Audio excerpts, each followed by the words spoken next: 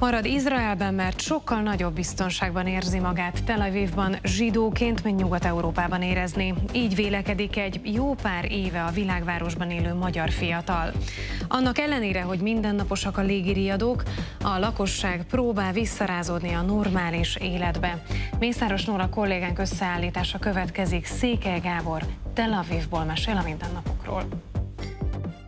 Mindenhol érződik a mindennapokban is hiába próbáljuk meg azt úgy tenni, mintha normális lenne, ami történik, hogy ez egy teljesen abnormális és szürális dolog, ami történt itt. Gábor egy Magyarországon felnőtt, de már több éve Tel Avivban élő fiatal. A szerelem hozta a zsidó állam nagyvárosába. Azt mondja, természetesen az októberi a legnagyobb terrorakció Izraelben mióta ide költözött, de korán sem az első. Tel Aviv mindig terror célpont. Az elmúlt pár évben minden, minden évben volt. Én a Dizengov utcán lakom egyébként, ami Tel Avivnak egy viszonylag központi utcája, nem tudom, úgy képzeljük, úgy képzeld mint mondjuk az Andrási utat. Szóval egy ilyen hosszú út, nagyon sokan laknak rajta, mindenki ismeri, és itt ezen az utcán, ahol én lakom, itt, itt az elmúlt két évben háromszor volt lövöldözés és, ter- lövöldözés és terrortámadás. A helyi lakosság számol a terrortámadásokkal, de egy ekkora volumenű akciót nem vártak.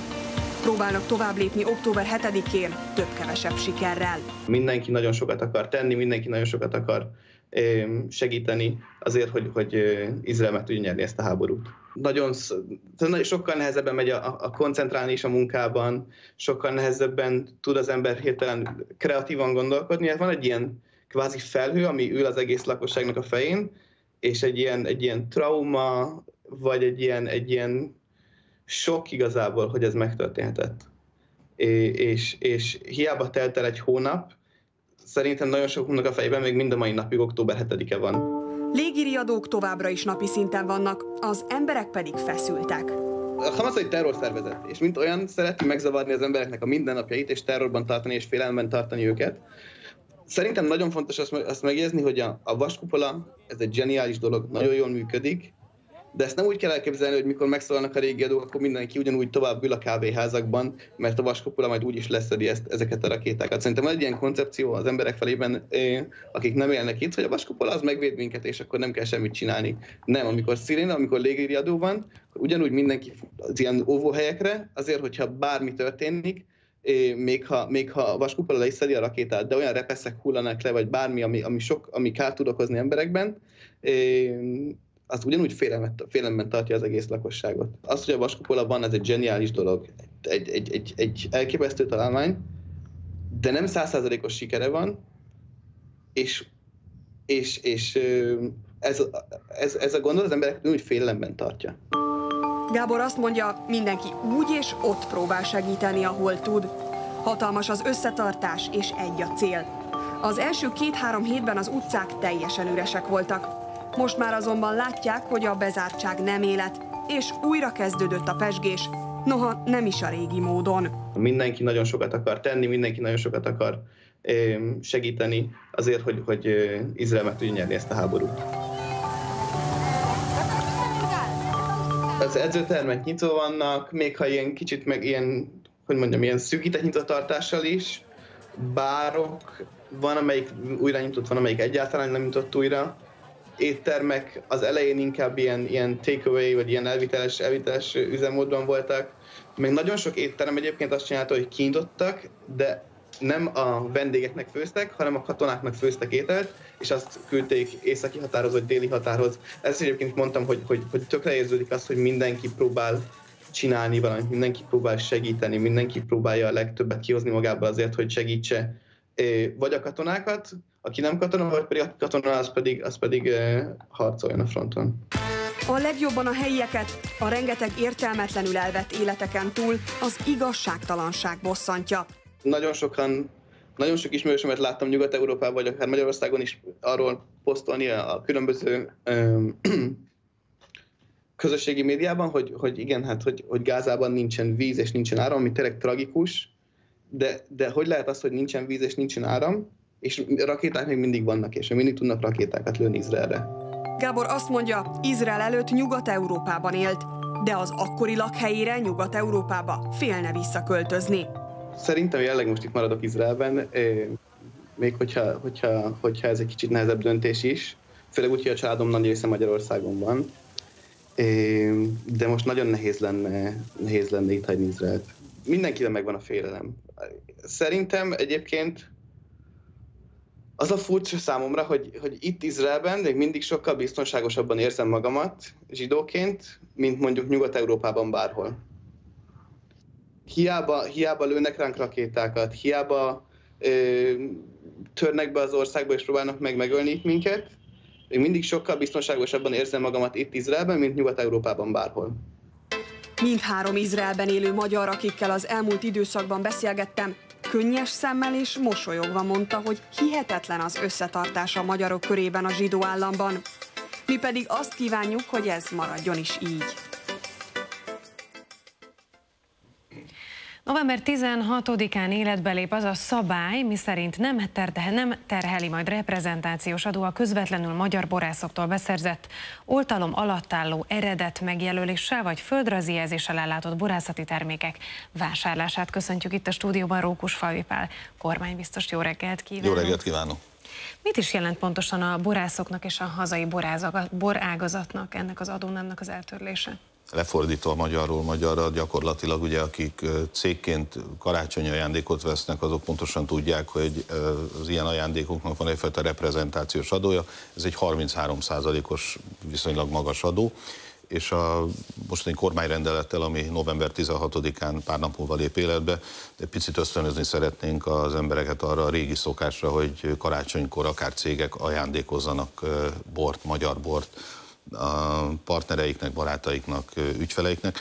Ez azért fontos, hát egyrészt mert szeretnénk a magyar bort támogatni, másrészt közvetlenül a termelőket szeretnénk ezzel segíteni, tehát ezért van benne a rendeletben, hogy a termelőktől vásároltra igaz, és nem kereskedőtől vagy üzletekben vásárolt borra, és a minőségi bort szeretnénk előtérbe helyezni, ezért fontos, hogy beírtuk, hogy eredetvédett legyen ez a bor, tehát egy olyan magas minőségű ajándékról beszélünk.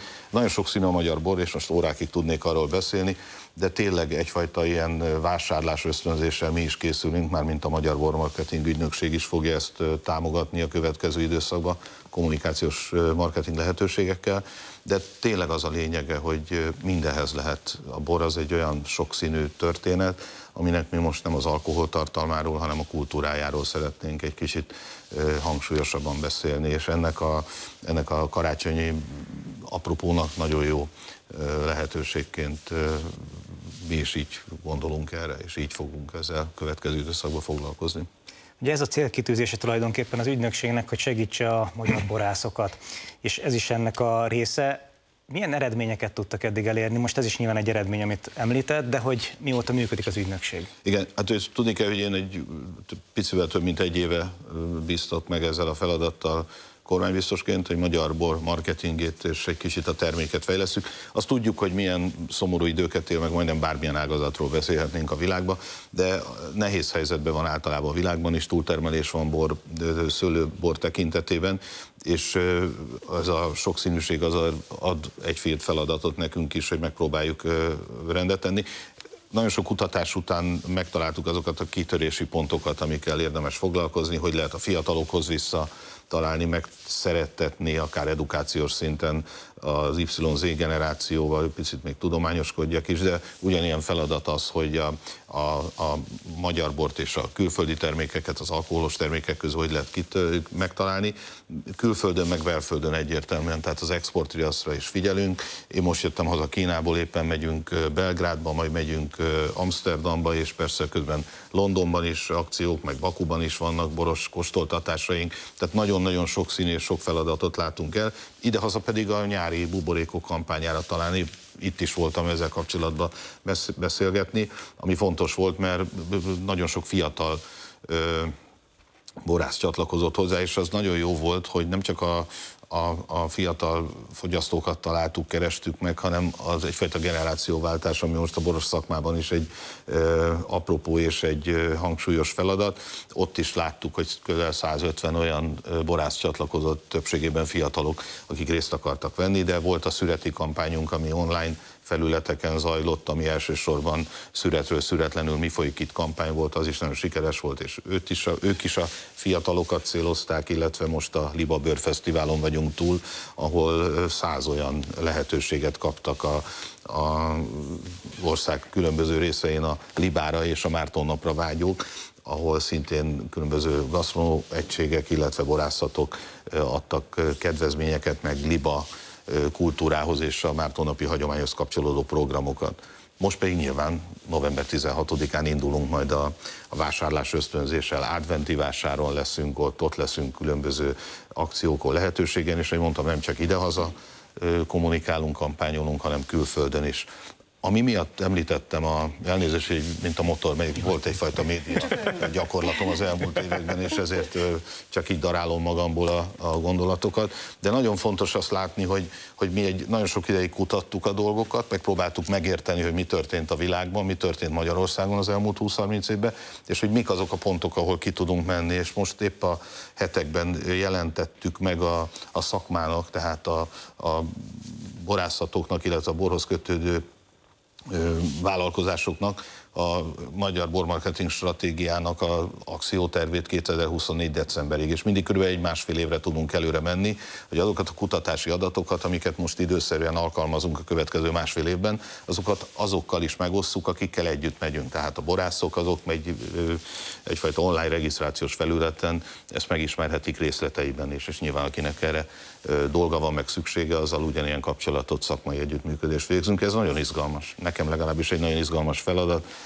Én bortermelőként is dolgoztam, kommunikációs világban is ott vagyok elég régóta, és valahogy ez a feladat ezért egy ilyen ö, nagy lehetőség szerintem a szakma részére is, meg nekem is egy olyan koordinátor szerepet ad, ami mint kormánybiztos lehetőséget ad sok minisztériummal való együttműködésre. A miniszterelnökségen belül van egyébként ez a kis kormánybiztos iroda, és egy, ahogy mondta is, egy lassan több mint egy fél éve megalakítottuk a bormarketing ügynökséget, ez egy pici kommunikációs marketing csapat, amelyiknek az a feladata, hogy támogassa a magyar bort. Nem egészen egy percünk van, hogy ha már az adventi időszakot megemlítettük itt szörmentén, milyen adventi kampány lesz pontosan? Hát ebben, hogy említettem, mi átmenti vásáron jelenünk meg, egy kommunikációs kampányjal jelenünk meg, online felületeken, de a közterületen is ott lesznek a különböző olyan rendezvényeket támogatunk. Most például a Pannon karácsonyt hagy említse meg, ahol a legszebb magyar borászatok, a legrangosabb magyar borászatok részt vesznek. Mm, nyilván mi is megpróbáljuk ezeket a felületeket úgy megragadni és támogatni, hogy az emberek lássák azt, hogy a magyar borászok készülnek karácsonyra, készülnek adventre. Nagyon fontos és nagyon szép történetek jönnek a következő egy-két hónapban, fognak velünk találkozni. Reméljük és nagyon várjuk. Köszönjük szépen. Köszönöm szépen. Illés Péter kollégámmal egy picit vitába szálltunk itt kora reggel, 6 óra 50 perckor. Ő azt mondta, hogy szerintem nem tavaszias az időjárás, én szerintem novemberhez képest azért tavaszias, bár valóban esik az eső. De hogy pontosan milyen idő vár ránk, akkor ezt most Solti Szabina kolléganőmtől megkérdezem. Szia Szabina, jó reggelt kívánok! Szervusz Eszter, köszöntöm a napindító nézőit. Borongós eső szürke időben lesz ma részünk. Igen, elmondhatjuk, hogy egy tipikus őszi nap vár ránk, de a hőmérsékleti értékek a sok évi átlag felett alakulnak. A délelőtti és a délutáni órákban többször előfordulhat eső, zápor, de napközben hosszabb csapadékszünet is előfordulhat. Időnként megint a déli délnyugati szél, helyenként erős széllökések is lehetnek. A maximum értékek 12 és 16 Celsius fok között alakulnak, de a dél Dunántúlon ennél melegebb is lehet, 20 Celsius fok közelébe emelkedhet a hőmérséklet. Holnap már eh, a csapadék hajlam csökken, és hosszabb, rövidebb időszakokra a nap is előbújik, csütörtökön pedig már csapadékmentes időben lesz részünk. Köszönöm a figyelmüket, szó a stúdióé. Szabina, köszönjük szépen! Én pedig most akkor itt hagylak, magadra hagylak, de majd visszatérek, de csak a napindító további részében, a napindító pluszban egyébként, mert hogy most önöknek hozom a legérdekesebbeket az online média világából. Az első cikk, amelyel készültünk ma, a Magyar Nemzeten olvasható, példátlan Vinyánszki Attila lemondása. A Nemzeti Színházban volt egy súlyos baleset, két színész is megsérült súlyosan, emiatt a vezérigazgató bejelentette lemondását. Ezt nem fogadta el Csák János kulturális, kulturáért és innovációért felelős miniszter, de ezzel kapcsolatban, hogy maga egyáltalán, hogy lemondott Vinyánszki Attila, ez példátlan a magyar történelemben hozza a magyar nemzet ezt a cikket, és mi az, ami még tudható a múlttal kapcsolatban, illetve ezzel az ügyel kapcsolatban, az mind megtalálható tehát a Magyar Nemzet online kiadásában. Az Origon pedig egy másik érdekesség, egyre több gyerek lesz súlyos beteg Magyarországon is egy vegyület miatt. Kiugróan megnőtt ugyanis az elmúlt évtizedekben az autizmus spektrum zavarral és a figyelemhiányos hiperaktivitás zavarral élő gyermekek száma. Kutatók egy csoportja pedig most rájöhetett, hogy mi okozza ezt a tendenciát, érdemes emiatt tehát ellátogatni az Origóra. A Mandineren pedig részben egy kis sport. Ne nyafogjunk többé amiatt, hogy nincsen valamire való sportdiplomatánk, mert hogy van, méghozzá nem is egy. Itt járt megint Lord Sebastian Coe, a Nemzetközi Atlétikai Szövetség elnöke, aki ugye itt volt még Budapesten a nyári világbajnokságon is, és úgy fogalmazott, hogy nem tud szabadulni Budapest varázsától, ennek pedig mindenféleképpen mi örülhetünk. És hogy miért is volt egészen konkrétan most Budapesten milyen konferencián járt, ez pedig rezonál arra a címre, amelyel indított tehát a Mandiner, érdemes rákattintani erre az oldalra is. Ezek voltak ma a legérdekesebbek, te jössz megint. Az Országos Onkológiai Intézet jóvoltából minden héten van lehetőségünk arra, hogy beszélgessünk a daganatos megbetegedésekről, ezeknek kezelései lehetőségéről, és természetesen a gyógymódról, amihez nagyon közel állunk már, én azt gondolom, és sok szeretettel köszöntöm itt a stúdióban dr. Lővei Józsefet, az Országos Onkológiai Intézet igazgatóját. Jó reggelt kívánok! És dr. Erős Lórántot, az Országos Mentális Idegsebészet és Ideggyógyászati Intézet főigazgatóját. Jó reggelt kívánok! Uram. A mai beszélgetésünknek a fő témája az az agydaganat, ami nem tudom, hogy nem vagyok szakember, de nem tudom, hogy főorvosuraknak mondhatom-e azt, hogy talán egy speciális területe a daganatos megbetegedéseknek, hiszen beszélhetünk rossz vagy jó indulatú daganatról, egy olyan területet érint, ami tulajdonképpen kihat az emberre, a személyiségünkre. Jól mondom? Abszolút így van. Sok szeretettel köszöntöm a nézőket. Ugye, amikor agydaganatokról beszélünk, akkor kétfajta nagyon sok felosztás van, de két nagyon fontos dolgot kell elkülönítenünk. Van az agynak a saját daganata, amikor az agyból indul ki a daganat, és sajnos van az a helyzet, amikor egy rossz a daganat az agyba áttétet ad. Mind a kettő ugyanazt a problémát okozza, amit említett, és a statisztikákat nézve agydaganatból nagyjából ezer van az országban új egy évben, agyi áttétből két-három ezer lehet egy évben. Ezek a számok nem túlzottan nagyok, tehát ha összehasonlítva, hogy több tízezer új daganatos megbetegedés van egy évben Magyarországon, ez a szám nem olyan nagy. De hogy tetszett említeni, az agy egy annyira különleges hely, hogy azok a tünetek, azok a következményeket, következmények, amit az agydaganatok az, az rendkívül rémisztőek.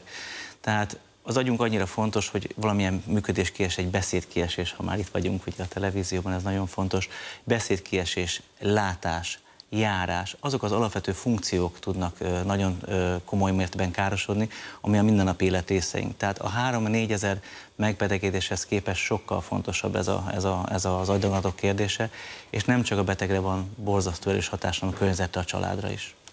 Egyszer egy ideg, idegsebész doktor úr nekem azt mondta, hogy amikor egy agyi történés van, ő akkor egyébként tipikusan a sztrókra, agyvérzésre utalt, akkor onnantól kezdve a személyiség biztosan meg fog valamilyen irányba változni, és az az ember már nem lesz ugyanaz az ember. Vonatkozhat ez egy agyi daganatnál is esetleg, hogy mondjuk műtéti úton eltávolítják azt a daganatot, és abszolút lokálisan semmilyen másfajta problémát nem okoz a daganat. De mégis lehet arra számítani, hogy az az ember már nem lesz az az ember? Hogyne, hát a, Ugye a frontális lebenyünk az adja valójában a, az embernek a személyiségét, és lokalizáció függő az, hogy, hogy milyen tünetekkel jelentkezik egy tumor, de hát a legnagyobb agylebeny a homloklebeny, és ez befolyásolja leginkább a, a tudatunkat, a személyiségünket, a beszédünket, és hát természetesen a mozgást is. Úgyhogy a, a környezetünk által a megítélés az, az nagyon függ attól, hogy, hogy hova lokalizál ez a daganat.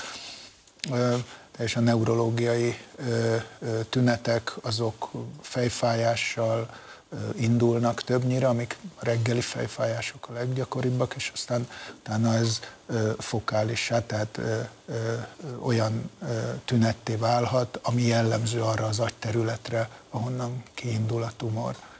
Van valami jellemző agyi terület, ahol tipikusan megjelenik az agydaganat, vagy ez teljesen változó? Ez teljesen változó. Hát van egy-két daganatnak, van, van, van, van olyan helye, fiatalokban van egy olyan, ami homloklebenyben szokott lenni, gyerekekben, fiatalokban egy másik, ami hátul szokott lenni. És ugye a tünetek azok ugye két módon is jöhetnek, tehát hogy most lassan is kialakulhatnak, vannak lassan növekvő daganatok, és ott néha már évekkel korábban, ugye, ha megkérdezzük a beteget, jelzi azt, hogy ezt már érezte korábban is a másik pedig a gyorsan növekvő daganatok, ezek általában nagyon ijesztő, nagyon gyors, hát hogy mondjam, tünetekkel járnak. Nyilván az előbbiben a betegek néha lassan jutnak el a diagnózisig, mert hogy ugye kicsi tünetek vannak, nem olyan erős, és amúgy nagy tünet, egy epilepsziás rossz szület, ami tényleg felvi a figyelmet, akkor jutnak el a betegek ugye az egészségügyi ellátáshoz. Ha pedig ilyen gyorsan növekvő daganat van, akkor az ugye hirtelen tüneteket az gyorsan ugye mentőjön esetleg, bekerülnek az ideggyógyászatra, és tipikusan az idegsebészete kerülnek utána a betegek elsősorban. Igen, mi, ö, ugye beszéltünk már itt arról, hogy esetleg műtéti úton eltávolíthatóak ezek a daganatok. Ö, jól műthetőek egyébként ezek a típusú daganatok, amik eltávolíthatóak? Hogyne, tehát az idegsebészet az elmúlt száz évben hatalmas fejlődésen ment át. Ugye egyre inkább ö, lerövidül az ápolás, tehát amíg két hétig ápoltak egy ilyen beteget, vagy hosszabb ideig, ma az átlagos ápolási napok száma egy, egy, egy rutin agyműtétnél egy öt nap, nál nem hosszabb, de van, amikor kevesebb, van, amikor persze több. Úgyhogy a, a, a tendencia az, hogy úgynevezett minimálisan invazív technikákat alkalmazunk, tehát minél kisebb behatá, be, behatolásból a legoptimálisabban távolítsuk el a tumort, lehetőség szerint teljes mértékben, úgy, hogy semmiféle egészségkárosodás ne jelentkezzen pluszba, sőt, ami volt, az is visszahúzódjon Úgyhogy teljesen megváltozott a, az idegsebészet. Ugye most már endoszkópos technikát használunk, mini koponyanyításokat használunk, robotot használunk az ilyen tumoroknak a vagy mintavételéhez, vagy eltávolításához. Ugye a robotsebészet, és ugye ez, ez egy teljesen innovatív technika a műtéti eljárásokban, ugye más tumoros megbetegedéseknél erről gyakran beszélünk, nagyon nagy segítség. Ezt jól érzem, hogy nagyon nagy segítség az orvostudományban a robotsebészet? Igen, nagyon sok új lehetőséget nyitott. Olyan betegeket tudunk megoperálni, korábban nem lehetett megoperálni. Nem csak feltétlenül azért, mert nem lehetett felnyitni a beteget, de a robotsebészet, és ez nem az én, ezen témát, azok az eszközök, amit használunk, sokkal rugalmasabb, mint az emberi kész például, sokkal többet tud. Tehát tulajdonképpen egy fokozott valóság, azt lehet mondani, amiről most az is egy nagyon-nagyon fontos téma.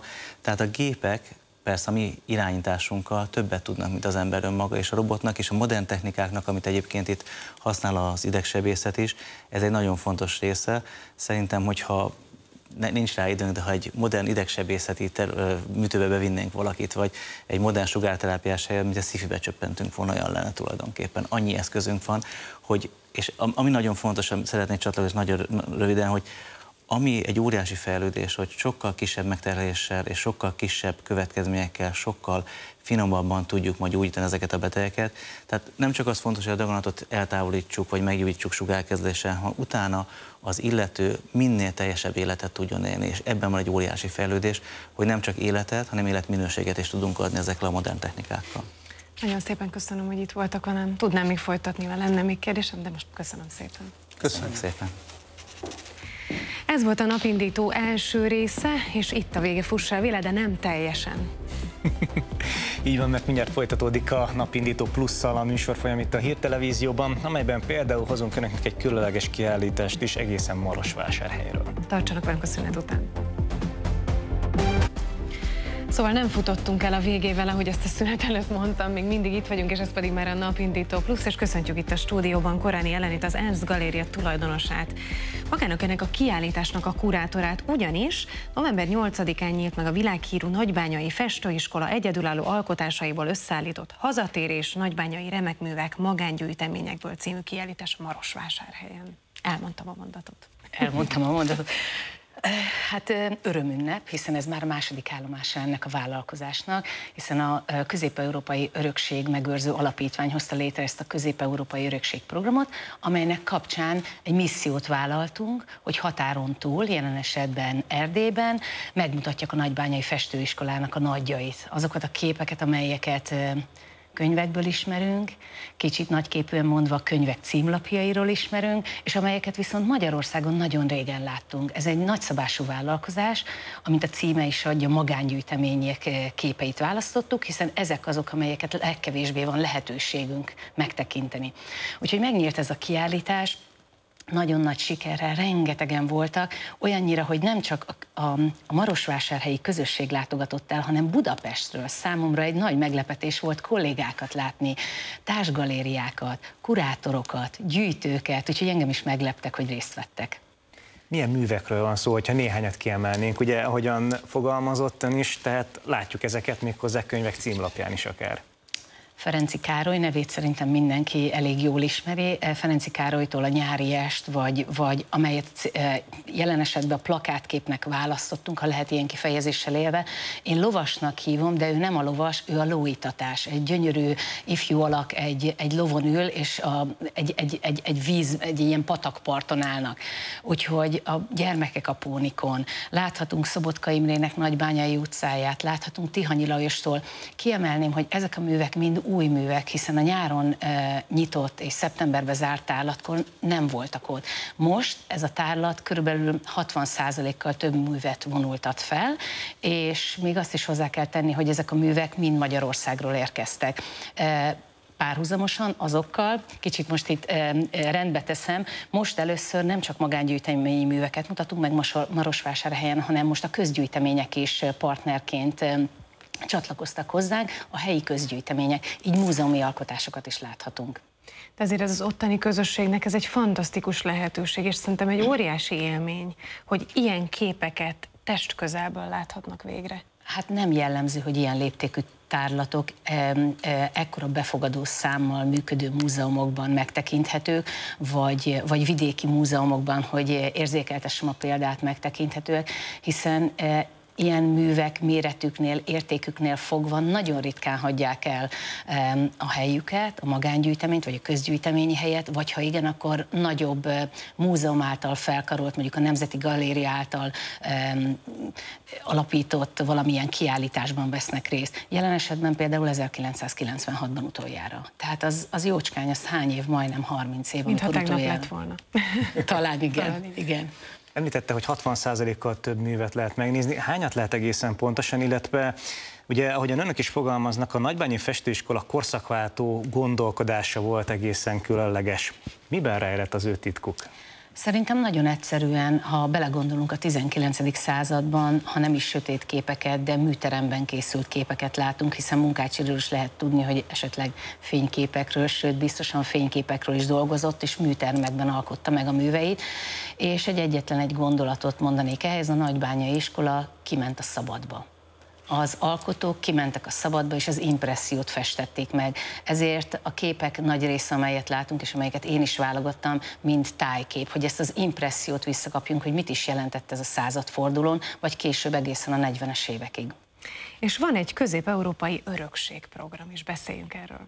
Igen, a közép-európai örökségprogram, ahogy korábban elmondtam, a közép-európai örökség, eh, eh, közép-európai épített örökség megőrző alapítmány hívta életre, amelynek a missziója, hogy olyan kulturális projekteket mutasson be, amelyből a közép-európai térségek lakói, közösségei részesülnek. És hát egy képzőművészeti kiállításnak az elindítása ennél jobb platform nem is lehetne. Nagyon szépen köszönjük. Köszönjük szépen, hogy itt volt velük. És akkor most Balázs Palival folytatjuk ezt a mai napi indítót, mégpedig azzal, hogy 27 éve van töretlenül a zenei pályán, 27 dallal ünnepel a színpadon. Az idén 55 éves Balázs Pali egy igazi időutazásra invitálja a közönséget november 18-án. Dupla jubileumi koncertjén ugyanis 27 éves pályafutásának romantikus dalaival és fergeteges hangulatú élő koncerttel várja a nagy érdeműt.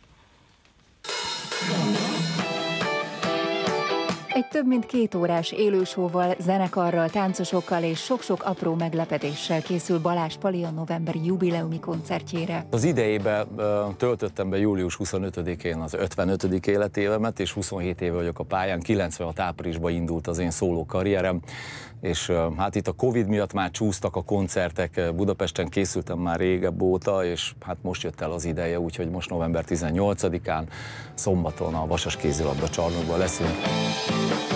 27 év alatt 20 megjelent lemez, több száz dal, 3000 fellépés, szakmai díjak, két fonogram díj. A vidékről jött fiúnak sikerült túlszárnyalni az álmait. Egy kis faluban nőttem fel Békés Csaba mellett Telegerendáson. Ha, ha nagyon őszinte akarok lenni, hát az egy százaléknál is kevesebb esélyem volt arra, hogy egy ilyen hosszú utat járhatok be. Nyilván nagyon fontos volt az, hogy a, a közönség választott ki engem. Egy félénk mosoly, egy félénk pillantás. Gyerekkorban olyan 16 évesen a gyermekszobámban volt egy csillár a fejem fölött, és egy fehér izzót kicseréltem a boltba, vásároltam egy pirosra, becsavartam, aláltam, és elkezdtem gitározni olyan dalokat, amik akkor az első dalok jelentették a repertoáromat. Helyi rádiókba, helyi újságba, helyi tévébe tudtunk szerepelni, nem voltam országos médiában. Koncerteztünk, plakátot ragasztottunk együtt a kollégáimmal a koncerteket megelőzően több hónappal. Szóval nagyon, nagyon sokat tettünk azért, hogy, hogy ez tudjon működni, de nyilván a közönség visszajelzése nélkül nem juthatott volna el idáig, és ez, ez szerintem a legfontosabb.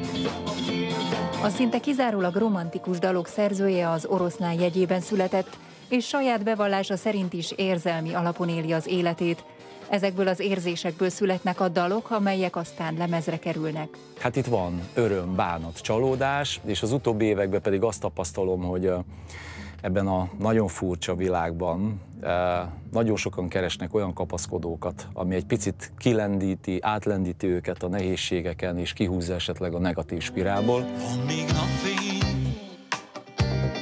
felhők. Palinak is volt ilyen időszaka, akkor született a Soha ne légy szomorú című dal, ami 2011-ben jelent meg, és a mai napig benne van a repertoárban. Megpróbálok olyan pozitív gondolatokat megfogalmazni a dalokba, ami, ami segítséget nyújthat, hogy nincs az a mélypont, az a nehézség, amiből talán nem lehet kijönni, kilépni, tenni kell érte, szerintem legbelül magunknak kell eldönteni, hogy akarunk-e fejlődni, ki akarunk-e jönni abból a negatív spirálból, a koncert egy időutazás lesz.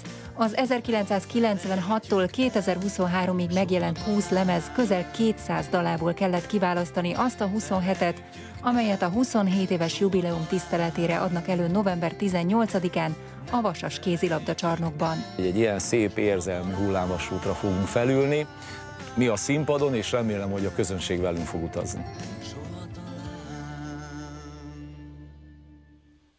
Erőt és kitartást ad. Sokan ezt mondják azzal kapcsolatban, hogy kipróbálták már a honvédelmi sportközpontokban a különböző hadászati foglalkozásokat.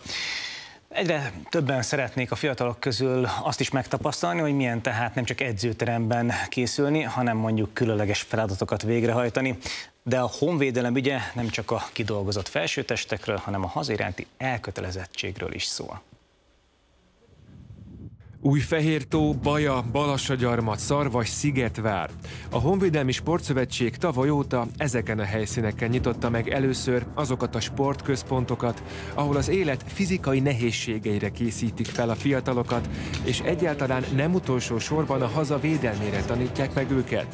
Simicskó István, a szövetség elnöke a Balassagyarmati megnyitón Kossuth Lajos szavait idézve azt hangsúlyozta, hogy a honvédelem ügyéért minden nap tenni kell. Mert ha beüt a baj, akkor nagyon nehéz elkezdeni az emberek nevelését, a fiataljaink képzését, oktatását. Tehát ezért minden nap valamit tenni kell azért, hogy azok a képességek, az a tudás meglegyen a társadalmunk egészében, a magyar emberek gondolkodásában, értékrendjében, hogy a haza a semmivel sem pótoltó értéket jelent mindannyiunk számára. Népszerű téma a honvédelem teltházas rendezvény bizonyította Balassagyarmaton, hogy sokan szeretnének megismerkedni a lehetőségekkel. A városban működő sportközpont múlt hétvégén az elérhető összes szolgáltatást bemutatta a családi napon megjelenteknek, akik többek között a Gripen szimulátor erejét is kipróbálták. mai családi napunkat azért hoztuk létre, hogy széles körben is megismertessük a nagy közönséggel az itt végezhető sportokat.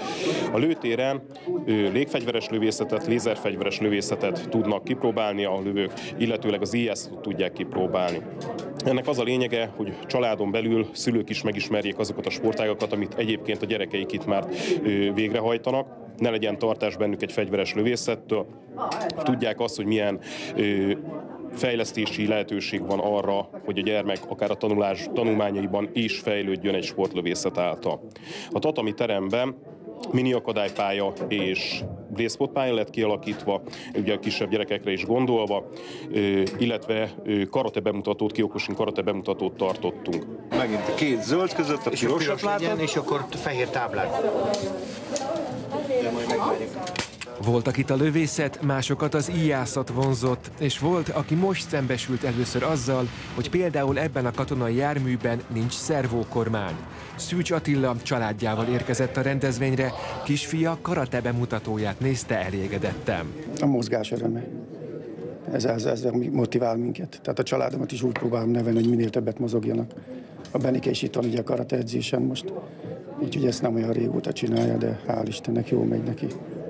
Meg honvédségi múltam is van, úgyhogy minden, mindenképp el akartam menni. A Magyarországi Honvédelmi Sportközpontok nem csak a hobbiként érdeklődők számára állnak nyitva, a magas kihasználtságot a helyi kadétképzés is segíti. Százszázalékos kihasználtsággal működik a sportközpont, és délután is a szabadidőben például hölgytorna, a, a lőtéren is nagyon-nagyon jók a kihasználtságok.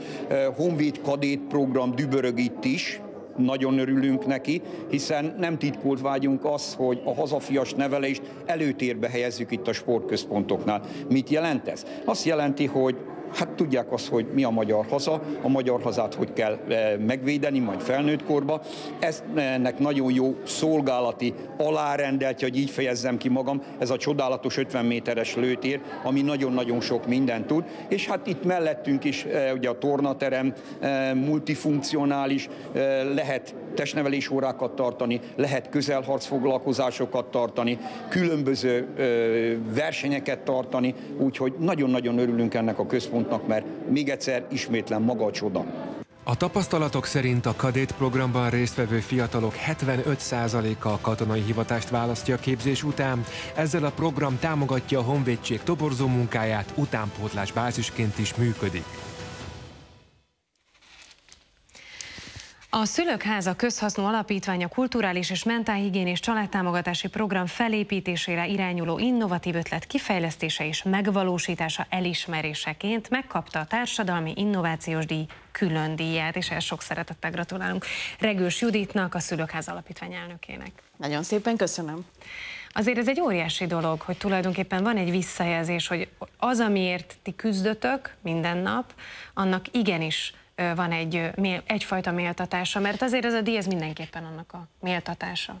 Ez így van, és nekem nagyon nagy megtiszteltetés, és külön öröm, hogy tényleg elsőként osztották ki ezt a díjat, és elsőként megkaphattuk ezt a külön díjat, és hogy mondtad is, a felvezetőben jó hosszan, maga a szülőkháza társadalmi innovációja is ilyen sokrétű és komplex, és ha bár már kaptunk elismerést az Európai Uniótól, illetve ugye a Világbank is beemelte az átadandó programjai közé, és ugye az ENSZ tagja is lettünk a tavalyi évben, nekem mégis nagyon-nagyon sokat jelent ez a díj, mert elsősorban a magyar családokért szeretnénk dolgozni, és azokért a gyerekekért, akik nem nőhetnek fel családban, és az, hogy elismerte a kulturális és innovációs miniszter ezt a munkánkat, ezzel mi abszolút azt érezzük, hogy kaptunk egy felhatalmazást, hogy menjünk tovább, és ezt így is fogjuk tenni, és még sokkal több családon és gyereken szeretnénk segíteni. Itt hangsúlyozták azt is, hogy a várandóság idejétől a gyermekek felnőtté válásáig minden életszakaszra van átadható programeleme tulajdonképpen a Szülőkháza Alapítványnak és már több alkalommal találkoztunk mi itt egymással. Mik a legújabb programok, amelyekkel készül a Szülőkháza Alapítvány, vagy éppen zajlik? Ez így van, pontosan ezért is érdemeltük ki ezt az elismerést, mert hogy ezek a programok valóban kidolgozott, átadható módszerek, nagyon sok ötlet születik, csak kevesebb ötletből lesz megvalósítás, és tényleg pont most számoltam ki, hogy most 19 éves a fiam, és két éves volt, amikor elkezdtük csinálni ezt a programot, tehát 17 éve vagyunk töretlenül, és állunk újabb és újabb programokkal elő. Most van egy új programelemünk, ez a generációk közötti együttműködésről szól. Ha bár már elkezdtük annó a pandémia idején a napi mami, napi nagyi és napi papi programjainkat, ahol az online térben meséltek az idősek a fiataloknak, most ezt megtesszük a valós térben is, és pont a holnapi napon lesz ennek a bemutatója, hiszen van nekünk egy nagypapánk, a szülők háza nagypapája Nyári Károly, ő is el fog látogatni erre a napra, és egy mini koncertet fog adni, és bevonjuk azokat a nyugdíjas idősebbeket, akár a nyugdíjas klubokból érkezzenek, akár idős otthonakból, akik ezeken a programokon részt vesznek, és saját maguk is bekapcsolódnak a képzőművészeti tevékenységekbe, miniművész foglalkozásokat tartanak a kicsi gyerekeknek, illetve az állami gondoskodásban élő gyerekekkel szeretnénk kialakítani egy együttműködést, hogy akinek éppen most nincsen unokája, vagy messze él tőle, akkor ezt az élményt mégis megkaphassa, és hát ugye a gyerekeink, akiknek nincsenek nagyszüleik, pedig nagyszülőkre találhassanak. Igen, hogy ez nagyon fontos, hiszen a nagyszülő-unoka kapcsolat az mindig egy nagyon különleges kapcsolat. Nekem az édesanyja mindig azt mondta, hogy majd, ha egyszer neked lesz gyereket, kislányom, akkor az én feladatom az lesz, hogy ezt a gyereket én kényeztessem. Úgyhogy gondolom, hogy itt ilyen tulajdonképpen a foglalkozások egyben valahol kicsit a gyerekeknek a kényeztetéséről is szól. Így van, és ez egy adok-kapok történet, hiszen valóban nagyon nagy szükség van az idősebb generációra, csak ugye nagyon nehéz sokszor, hogyha máshol élnek a nagyszülők, messze élnek a gyerekektől, és mi szeretnénk visszahozni ezt a nagy családos közösségi hangulatot ezeken a generációs családi napokon, illetve ezekben a generációs programokban, hogy egyrészt tényleg legyen kit kényeztetni, másrészt legyen kitől tanulni. Említette ezt a 17 évet. Ilyenkor, amikor mondjuk az ember kap egy ilyen díjat, akkor végig gondolja, hogy ez a 17 év hogyan is telt el, és honnan, hova jutott el az alapítvány? Igen, abszolút, és a köszönet is eszébe jut az embernek, ugye Kemény Dénesnek, aki megalapította magát a Szülőkháza alapítványát, aki hit benne, és látta azt, hogy igenis érdemes emögé állni, és hogy úgy érzem, hogy talán ő is büszke rám. A köszönet azoknak a csapattagoknak, név szerint Hilbert Edinának, Erdős Idittének, és hát sok-sok mindenkinek, aki az elmúlt 17 évben ott volt velünk, és hát persze nyilván ez nem az Oscar díj, de azért a családom is eszembe jut, hogy ezt egyrészt elviseli nap mint nap, másrészt pedig részesei ennek az utazásnak, hiszen ezt nélkülük nem tudnám én csinálni. Még itt a beszélgetés végén beszéljünk a hagyományos novembervégi szülőkháza gáláról, hiszen ez közeledik. Így van, és meg is dicsértem a szép kék ruhádat. Egyrészt mert tényleg szép, másrészt, másrészt pedig minden alkalommal a gálánknak is van egy színe, ami idén a kék, Ó. Ez valóban most már, hát nem is tudom, nyolcadik alkalommal tartjuk meg. Ez Ilyenkor megmutatjuk, hogy mit tettünk ebben az évben, kicsit beszámolunk az önkénteseinknek, hogy lássák, hogy érdemes, másrészt pedig kiosztjuk a Szent Antal díjakat, amit több kategóriában kapnak meg a támogatóink, illetve tavalyi évben alapítottuk a Mi Hősünk díjat, amit egy olyan legtöbbet fejlődő állami gondoskodásban felnövő gyermek kap, aki ebben az évben a legtöbbet teljesítette. Ezt most még nem árulom el, hát ha eljöttek újra hozzátok, és elhozom magammal őt, aki idén majd ezt a díjat kapja. Köszönjük szépen, legyen Nagyon így szépen majd. köszönjük, és legyen így, ez így van. Köszönjük, Regős Judit. Köszönöm. És ennyi volt már a, a napindító, valamint a napindító plusz, de holnap is jövünk már 6 óra 50 perctől. Kiemelten foglalkozunk mind az izraeli, mind az oroszokra háborúval. A vendégünk lesz majd Csonkuti Bálint biztonságpolitikai szakértő. Tartsanak velünk holnap is, itt fogjuk Önöket várni. Viszontlátásra! Viszontlátásra!